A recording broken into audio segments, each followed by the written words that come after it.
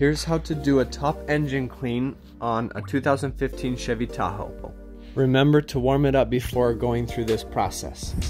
There are two clamps that have little gray tabs on them and you need to push the tabs to release the hoses. Now loosen the two screws on the hose clamps.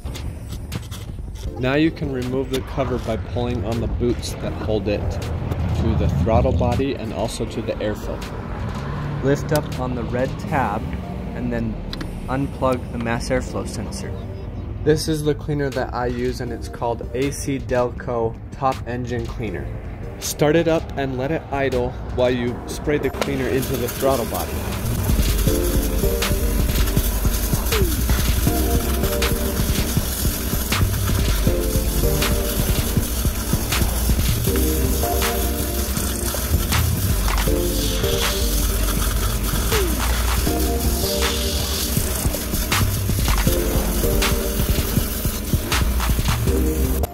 Turn the car off and reattach the cover the same way that you took it off.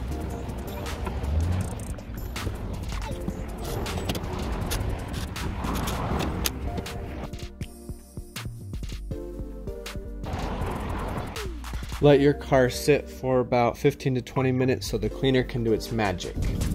Turn the car on, start driving, and watch all of the carbon deposits blow out of the exhaust pipe. Do this about once a year to keep everything running well.